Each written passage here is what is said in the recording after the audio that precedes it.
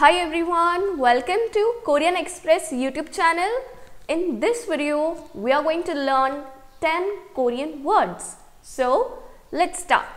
First comes the Korean word for scarf and that is 목도리. 목도리. Now let's see how to say notebook in Korean language and that is 공책. 공책. Now comes the Korean word for key and that is 열쇠. 열쇠. Next, let's see how you're going to say subway in Korean. That is 지하철. 지하철. Okay, now let's see the next word and that is hanger. In Korean, it is called 옷걸이. 옷걸이. Next comes the word parachute and in Korean parachute is nakhasan.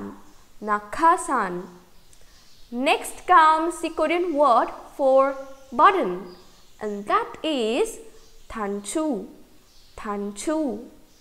Now let's see how you're going to say ring in Korean language and that is panji. Panji. Next comes the Korean word for iron and that is tharimi. Tharimi.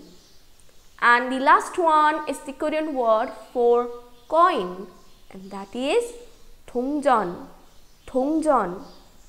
So, today we learned 10 very easy and important Korean words.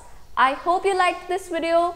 Don't forget to like, share and subscribe Korean Express YouTube channel. Thank you.